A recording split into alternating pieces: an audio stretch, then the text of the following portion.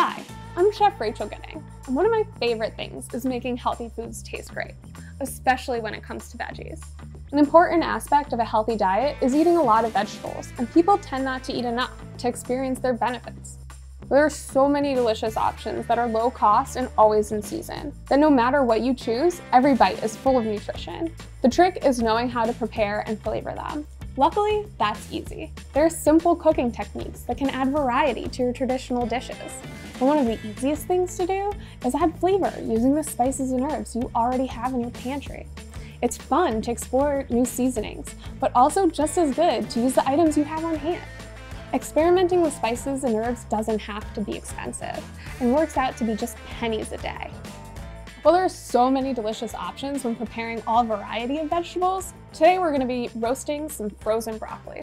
To start, we've preheated our oven to 500 degrees. This sounds hot, but it's going to help us get some delicious browning while also having perfectly cooked broccoli. We're just going to open our bag of broccoli right from the freezer and pour it into our bowl. We're gonna add a small amount of vegetable oil, and this is just really to help the roasting process. Next, it's the fun part. We're gonna add our flavor. I'm using a little garlic, a little onion powder, some black pepper, and dill. But when you're at home, you can explore what you like. See what you have in your pantry, taste and smell things.